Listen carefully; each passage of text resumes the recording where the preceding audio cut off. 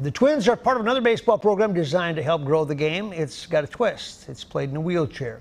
And with Sister Kenny's Rehabilitation Center's help, it's providing opportunities. There you go.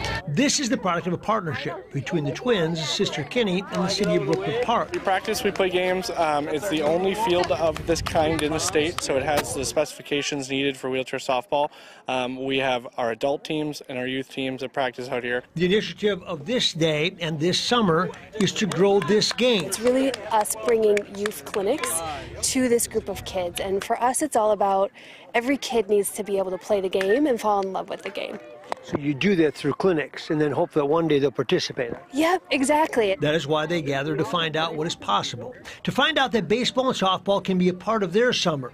And for these experience it for the first time, it opens eyes. This is actually my first time. I saw that they were having a softball program and I decided to come out. Thought it'd be a lot of fun. Has it been? Yeah, it's been a lot of fun. I've really enjoyed it so far. What's fun? Uh, I love to hit the ball and play catch. Playing. So, like baseball and softball at most levels, the best part is not here in the field. What's your favorite thing to do out here? Mm, batting. When you get to hit. That is the best one, isn't it?